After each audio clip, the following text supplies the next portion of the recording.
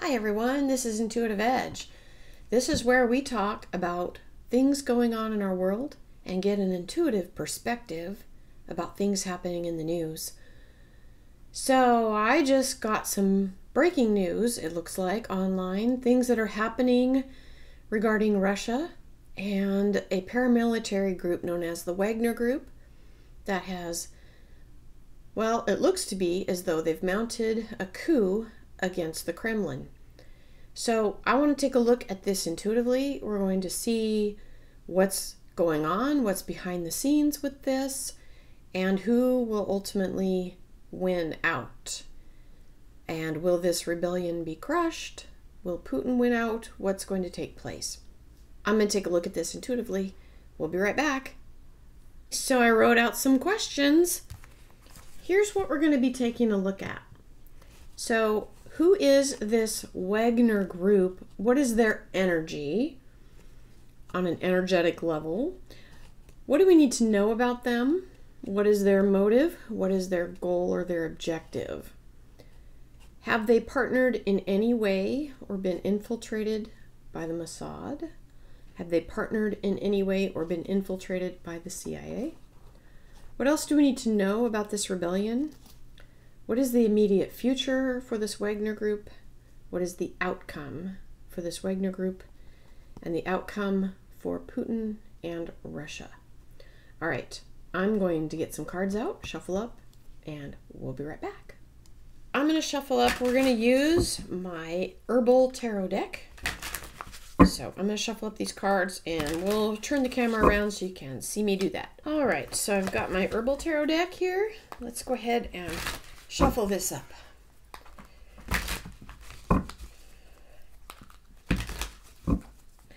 When I shuffle up, I like to affirm that the right and perfect cards are coming up, that this reading is protected, that if it can be known, I ask to be shown, asking for the right and perfect information to come through for these questions that I've written down.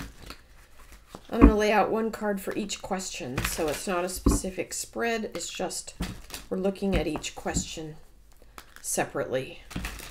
And then we'll look at how the cards interact with each other as well. Asking for the right and perfect cards to fall in the right and perfect order.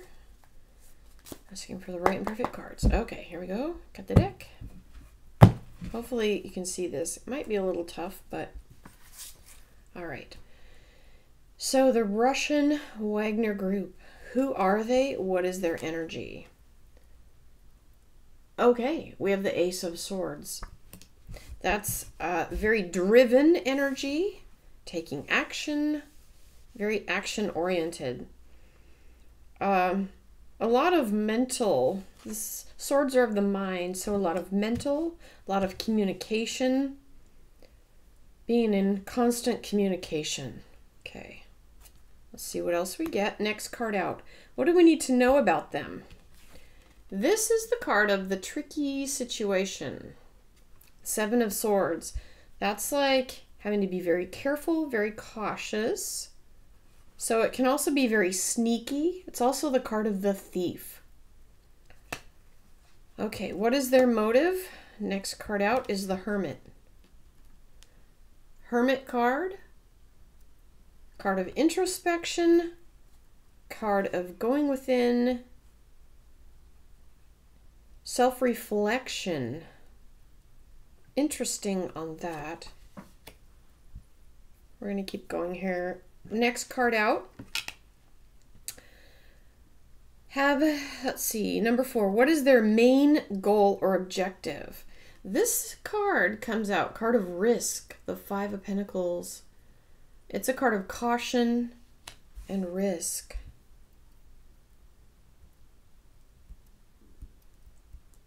So it's interesting with the question of what is their main goal or objective.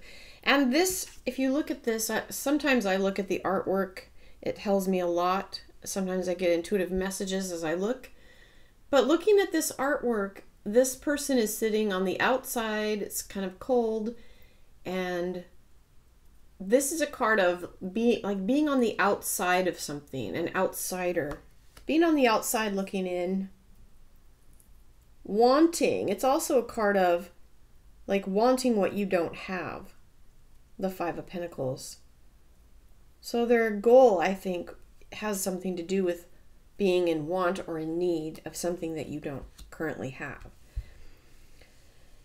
Okay, so I'm going to move those up. All right, next card out is the Justice card. This is on the question of Have they partnered in any way or been infiltrated by the Mossad? Well, having this major arcana on that question tells me that that is likely the case. Have they been partnered with or in any way been infiltrated by the CIA? It's not a major arcana, but it is the card of getting the upper hand. Uh, as far as those two questions, I think Mossad is most likely. How, let's see, that's number six. Number seven, what else do we need to know about this rebellion? This is the card of being on defense being on the defensive, waiting for something. So it's a defensive position. We could look at it as being on the defense and not on the offense. So they may have an uphill battle in terms of their goals. Let's see what else we have. The immediate future for this Wagner group, we have the Queen of Pentacles. That is some interesting energy with the queens being very grounded, social, stable, I should say. But she's looking to the next card, so let me see what this is. Immediate future, the outcome.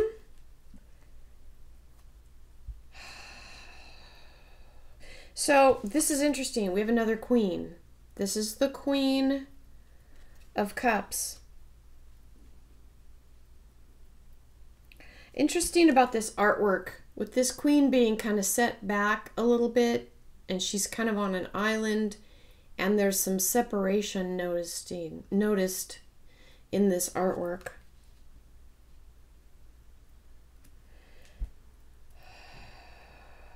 It's like, I think the idea of becoming even more separated or some type of strength in being separate. Interesting. All right, outcome for Putin and Russia. Now, what's interesting about this, the Six of Pentacles, I call this the give and take card. It indicates an exchange of energy. And the outcome Hmm. I'm going to sit with this for a minute and I'll be right back. So I sat with that for a few minutes. What it feels like to me when I look at this, and the question being the outcome for Putin and Russia, and it's this energy of exchange and giving back, I am wondering if the ultimate outcome is what is gained by this group will need to be given back to Russia that there is something that is going to be exchanged. There could also be some type of agreement drawn up between the, the group and Russia. But Putin's going to have some type of energy exchange back to him from this. Okay. Underneath this, we have the Queen of Swords, the card of getting to the bottom of something, a card of strength, and seeing through to the truth. So I'm going to shuffle up and take a look at some more questions, and we'll be right back. So I wrote down a bunch more questions. This time I'm looking at it from Vladimir Putin's point of view. So, how does Putin view this Wagner group? How do most Russians view this Wagner group? Will Putin's army defeat this group? Will the Wagner Group succeed in their ultimate objectives? What do we need to know about this conflict? And what is the outcome for Putin and Russia? Okay, so I'm going to shuffle up and we'll take a look at that. Using the same deck, we're just going to shuffle this up again, asking for the right and perfect cards to come through. And if it can be known, I ask to be shown. So these six questions that I have laid out here, asking for the right and perfect card on each question. Again, not a specific spread. We're going to look at these question by question. Asking for the right and perfect energies to come through. Thank you, God. Okay. All right, here we go. How does Putin view this Wagner group? There's a messenger on that. Page of Wands. Pages are messengers. Interesting with this artwork. With this messenger looking toward either a sunset or a sunrise. I feel like a sense of sadness almost with this. And also like a closing of a door. Something has closed. And it's like it's it there's a there's a demarcation a separation and a closed down between putin and this group. It's like kind of like the saying you're dead to me now. It's like this is like you've crossed this line and it's that's what i think is sunsetting i think that's what is meant by that when i'm pulling in with that sunset okay how do most Russians view this group? Two of Pentacles. It's a card of kind of weighing your options. Some people are probably really, like, not sure what they think. That's like, do we, what do we know about this? Is it this way? Is it this way? So there could be some confusion on that question. Third question Will Putin's army defeat the Wagner Group? Um, I would say so. The Tower card. That is a card of calamity, destruction at all costs. Uh, yeah, I think so. Will the Wagner Group succeed in their ultimate objectives? Now, there's a messenger on this. Messengers tell us that there's more to the story, that we don't have all the pieces yet, that had we known some things, it could change the outcome. So there's this tells me some things are in flux. But having this card, this is also the messenger of something being a little bit fishy, not above board. There's some some weird kind of things going on. Next card. What do we need to know about this? Well, this is very interesting. Two of Wands is the card of looking at the future, seeing what's ahead, having your future and your goals in mind. This this really does affect what happens with this will affect the future, the future of Russia, but perhaps the future of the world. As you see, this figure here is holding on to a small world there this has a direct bearing on the future of our planet, I think. The outcome for Putin and Russia is actually very good. This is a card of nostalgia, innocence, bringing things back into the past. I think this is going to bode well for Russia and for Vladimir Putin. I don't think this group is going to be as successful as they would like. We have this Eight of Swords. That's the card underneath. The underneath card just kind of flavors everything. There's some restriction here with this. Now I should, I should, let me move my camera here. I should put a little caveat on that. Um, when I say that Russia will be successful and this group may not be. What I mean is that ultimate outcome and who knows when that is. So there could be some fighting, there could be some skirmishes, and just like what we're seeing in Ukraine, it's a back and forth, it seems as though, and there's lots going on, and so nothing's really cut and dry.